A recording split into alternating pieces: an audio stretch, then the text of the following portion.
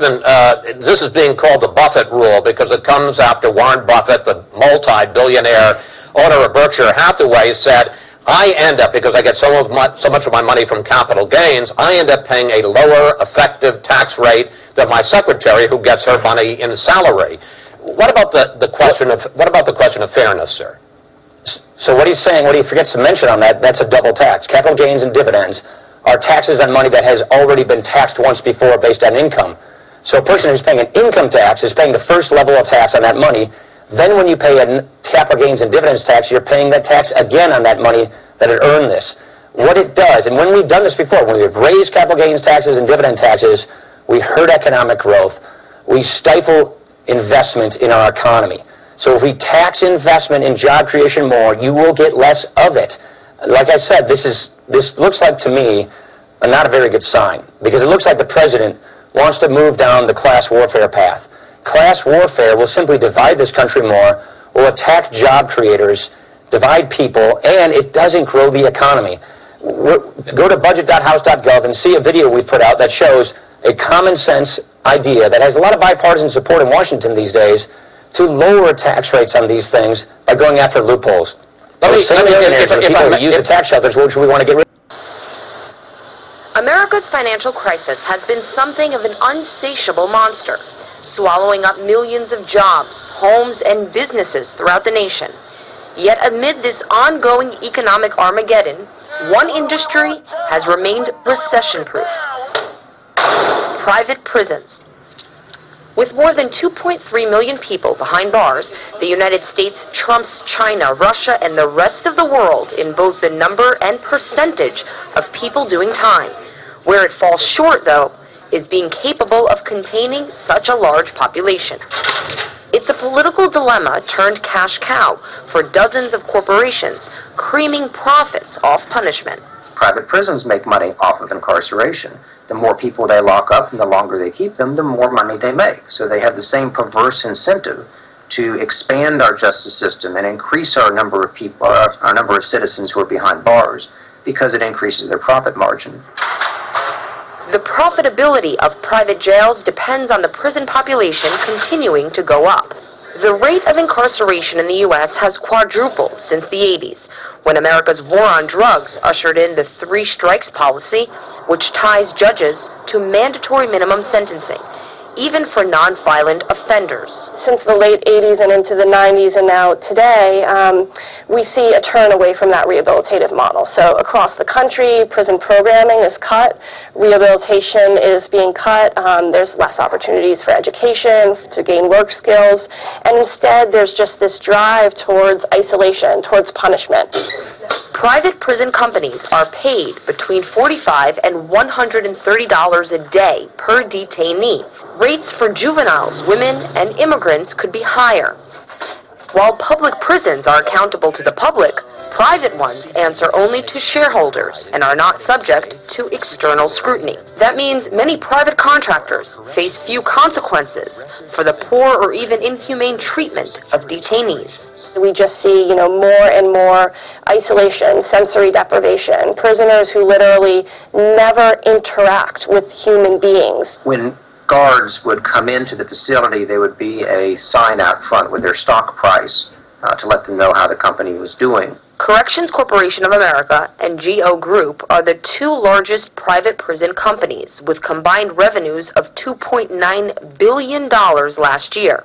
But critics say they've been using that financial clout to line their own pockets even further, encouraging politicians to keep going with a heavy-handed sentencing program by launching an influential lobby campaign in the corridors of power. Lobbying in, in order to influence public officials is only a small part of the private prison industry's effort uh, to achieve policy change. Others include campaign donations. So the companies make hundreds of thousands of dollars of donations to politicians nationwide, both on the federal and state levels. With most states and the federal government currently operating under record deficits and budget cuts, private prison companies are pitching their facilities as lower cost alternatives. And while most Americans continue struggling during this economic downturn, mass incarceration may grow even more profitable. Marina Portnaya, RT. Hello, everyone. Welcome to Global Government News. Today is Monday, September 19th, 2011, and I'm Darko. Uh, this is ggnonline.com. That's my website, ggnonline.com. Also on YouTube, ddarko2012. Uh, you can put your email in there, email address, and uh, you'll know when I post videos. Um, or you can subscribe to ddarko2012 on YouTube. Um, other than that, I have a new poll up, so go and check it out. It says, um, oh yeah, and also I can see it. Um, I guess it had something to do with a Greasemonkey, an add-on, so or a plugin. I think it was either plugin or add-on, maybe the same thing. Whatever. Either way, uh, I just went through a bunch of stuff and unclicked it, and, and all of a sudden, um, this worked. So it says here, how likely is it that standards of living will increase for the serf class in the next decade? You have 90% or above, then 70% or above, 50% or above, or just below 50%. And um, so you can go in there and check that out. I'm going to keep moving, cover the economy in this section, and uh, the war of terror, reign of terror, and uh, police state, big brother, eugenics in the next one. Although this one kind of has war on terror, a war of terror too. It says here, Obama 447 billion dollar jobs bill would create national infrastructure bank. I'm only putting this in there because, well, that's the biggest thing in the news right now as far as uh, uh, Barack Obama or whatever his real name is uh, is pushing here. We have Obama predicts his plan will cost $235,000 per job. So it says here uh, at a fundraiser held in a private residence in Washington on Thursday evening that the uh, 447 billion American Jobs Act he has proposed will create 1.9 million American jobs, which works out to be the cost of about 230 uh, dollars per job. And now it's uh, now they're talking about a trillion dollar bill, so it's not even called the 447 bill. Now it's changed to some uh, trillion dollar deficit cutting. So, okay, so we have here, says here, FOMC preview, Fed will take more action. So it said following continued deterioration in economic data, we expect the Fed to take action in the form of a twist in the central bank's portfolio towards longer maturity government bonds. Strategy could buy the Fed some time to see if economic data improves over the coming months. If not, we expect to see some version of QE3 within the next six months. Operation Twist. And this is, of course, from Forex. So, um, you know, when they say stuff like that, it's worth uh, paying attention to. It says here in North Carolina, we are not sure why Obama got facts wrong on bridges. So it says here, um, he came up with a statistic that there's 153 structurally deficient bridges in that state, arguing for more federal stimulus spending before another bridge falls. But it goes in there and says that the definition structurally deficient does not mean that they are in any way unsafe. So he goes, they basically go in there and say that there's a uh, there's actually uh, 2,696 bridges, not 153 that are structurally deficient. So, and then we move on here. Obama presses for new taxes on wealthy. So it says here, President Obama on Monday offered a plan to reduce the nation's deficit by 3.6 trillion, almost half of which would come from taxes, including new tax on millionaires. You keep hearing about tax on the rich and the rich and the rich, and I've said this so many times before. I don't consider millionaires rich. I consider the people that run the fucking show, the middle management, the Soroses and all them. Those are the those are the rich. You know what I mean? It's you have millionaires that are like people that own uh, your local businesses, your quote mom and pop places. Those are your millionaires. Those the ones that uh, maybe own a little apartment complex or a, maybe a, a, house that they rent out and where you're able to keep your privacy and they don't do drug tests and background checks and all sorts of stuff, uh, drug tests and that, just to get a freaking room in some worn down house so you can not get uh, messed with while you're, you know, if you were living on the street because, you know, it's actually illegal to be homeless. So, anyways, uh, so it's a big uh, war, economic uh, warfare, uh, and uh, class warfare, basically. Moving on here, Obama's Postal Service plan would cut Saturday mail. So, administration's plan to rescue the Postal Service, see, here we go, would allow the agency to end Saturday mail delivery and sell non-postal products. So it goes on here and it says that the agency expects to default on the 5.5 billion retiree health payment due at the end of September unless Congress provides relief. Lawmakers have indicated they want to extend the due date for the payment. So, moving on here, says Gallup um, uh, Obama's approval at all-time low among liberals. We have Tanzania, China to lend country $1 billion for a pipeline. China criticizes U.S. deal to upgrade Taiwan's F-16s. So I've covered this before. Russia has dumped 95% of its U.S. Treasury bills. Israel 46%. This is recent news. Egypt cancels two three-year bond sales as investors demand high yield. Then we have Generation X heading for poverty line. Uh, RaboDirect survey reveals one in three gener- Generation Xers, uh, as they call it, I hate that, struggling to make ends meet, or at least 2.5 million Aussies feel they are in the red. It says that this generation is being weighed down by record debt. Then we have Port Authority to sell $1 billion in taxable debt for World Trade Center. We're going to uh, boost tolls on uh, bridges and tunnels and trains. And it said here to sell 1 billion and 40 year debt to help finance construction of the World Trade Center site.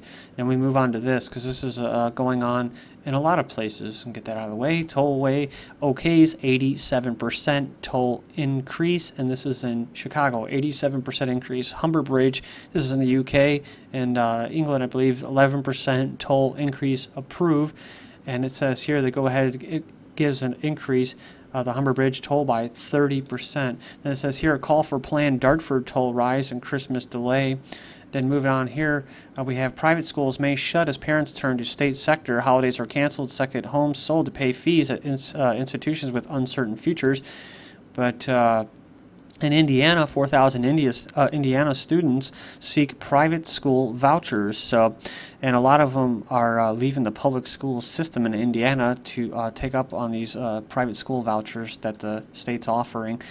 It says here, Bank of America's backdoor bailout dumping mortgage trash onto taxpayers via Fannie Mae. And uh, goes on here, and it says the official bailout of the financial system may be over, but the government is apparently far from finished, propping up big banks as evidenced by the news that Bank of America has struck a deal to pump a bunch of near worthless home loans on U.S. taxpayers. California legislator passes bill to study state-owned bank to study the feasibility of establishing a state-owned bank that would receive deposits of state funds has passed both houses of the legislature is now on the desk of Governor Jerry Brown awaiting a signature. So, uh, hail comrades. Fed debates approach as inflation fears grow talking about a wrestling over whether the threat of inflation should prevent them from feeding more money into the country to boost jobs. Well, we already covered that. They will. EU debt crisis being used to consolidate political power. And it says here, uh, fears being laid, laid on thick as another crisis is being used in an attempt to consolidate political power. This time, an honored tactic looks like it's now getting the final push in Europe as financial leaders and presidents alike call for the United States of Europe to avert a crisis. And that's right. That was a Polish finance minister that said that, and I covered that as well. Credit Suisse pays uh, to end tax probe. So Credit Suisse Group has agreed to pay German authorities 150 million euros to settle a case looking into hidden assets held by German clients. Hmm, so just pay them off and they go away. Like that. Credit Suisse, I need to uh, become a member of there. Uh, says here, uh, protesters invade New York City financial districts, uh, call for an end to corporate greed favoring the rich. Then Fannie, and it didn't get much coverage either, Fannie and Freddie Mae to raise fees, boosting the fees they charge to lenders a bid to develop more competitive mortgage market. And it says here, foreclosures, uh, foreclosure, Uncle Sam and his 248,000 homes, U.S. taxpayers are the biggest owners of repossessed homes. For now, they are stuck with them. It even says with even more homes towards default, Fannie and Freddie and the federal uh, FHA are looking ways to unload without swamping the already depressed real estate market. Well, let's just unload it on the taxpayers. Remember, I just covered that. America's homeless crisis washes up in Obama's fictional birthplace, talking about Hawaii and the extreme poor uh, down and out in LA when the middle class goes homeless. We have more Americans uh, sharing a home together in the tough economy. Uh, so middle class going homeless as well. No place like home. Millions of Americans uh, living in long stay motels, and there's a picture of it. We have homelessness could spread to middle uh, class. Crisis study warns, and it already has. Violent crime falls for straight fourth straight year. I wonder why. And it says here, Chicago police stations may be closed to save cash. Texas communities struggle to fund public safety. Talking about police stations, economy limiting service of local police, so less pigs on the streets. But check this. Out. But it's also this booming gun sales fueled by politics and the economy, economy recession, sport driven up local gun sales, then more seeking concealed weapons permits. Then look at this child abuse, head injuries increased during recession. Well, why? Well, illegal aliens given billions in tax credit by IRS, or maybe it's because they're eating pet food. Pet food industry enjoys strong sales and weak economy, and that's why the FDA approves it as uh, safe for human consumption. So, thank you for joining me. This is GGN, and I'm Darko.